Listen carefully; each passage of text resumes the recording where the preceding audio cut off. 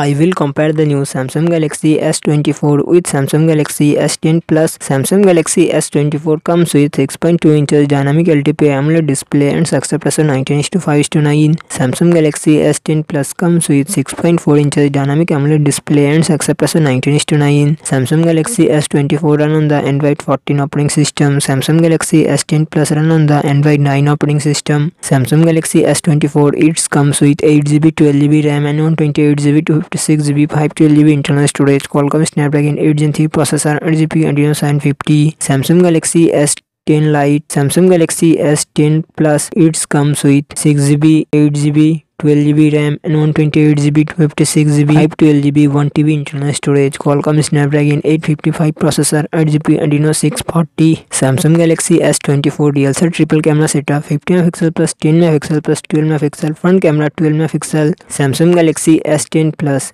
real set triple camera setup twelve megapixel plus twelve megapixel plus sixteen megapixel and it's dual front camera 10 megapixel plus 8 megapixel. Samsung Galaxy S24 4000mAh battery, 25W fast charging support.